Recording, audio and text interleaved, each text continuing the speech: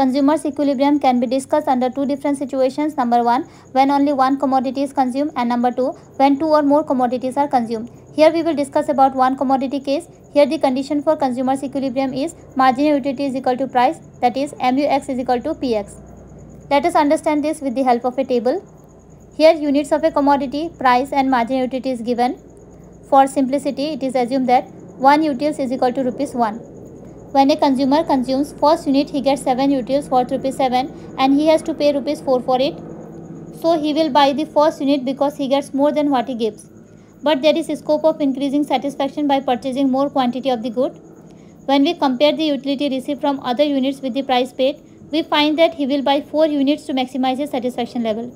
At the fourth unit, MU equals price which is the condition of consumer's equilibrium in one commodity case. In the diagram, units of a commodity have been shown on x-axis and price and marginal utility on the y-axis. Price line intersects the falling MU curve at point E, so the consumer's equilibrium will be at point E when the consumer consumes 4 unit of commodity.